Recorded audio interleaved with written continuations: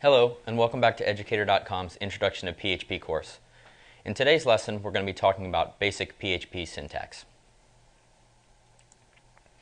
We're going to be talking about specifically PHP delimiters, or PHP opening and closing tags, which is something uh, we learned about in our Hello World example. We're going to be talking about uh, two features of PHP language, all languages, uh, statements and comments, and we're going to learn how to properly format them and what the proper syntax is. And we're also going to talk about uh, what coding conventions are. It's a very important topic, and we'll, we'll review that at the end. So PHP delimiters, um, we already have experienced that when we wrote our Hello World example.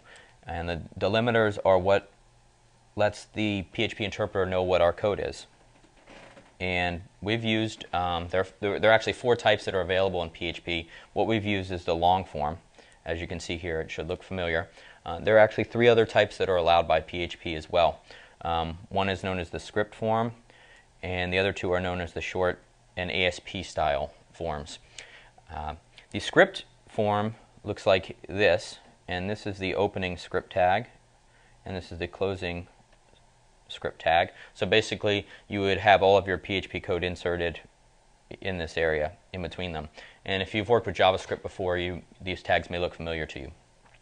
Uh, and this type of tag is always available in your PHP scripts.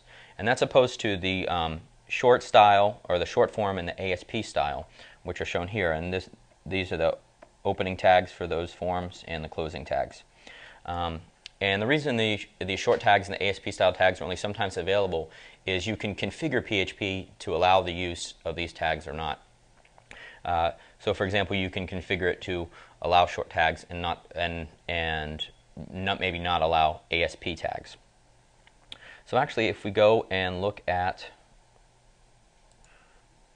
a code, uh, some code called a file called delimiters.php, we can see each of these four um, types of tags in action. Hopefully, yeah, they all fit on the screen here. Um, we can see the long form that we've used before. We can use see the script form. We can see the short form and the ASP form.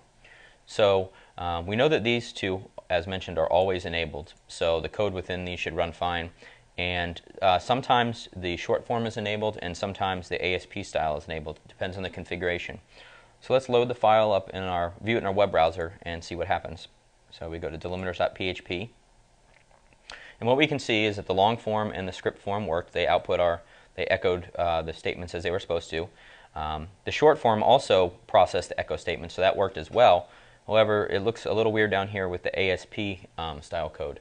And so it looks like they didn't process uh, that. It looks like the ASP style tags are disabled currently.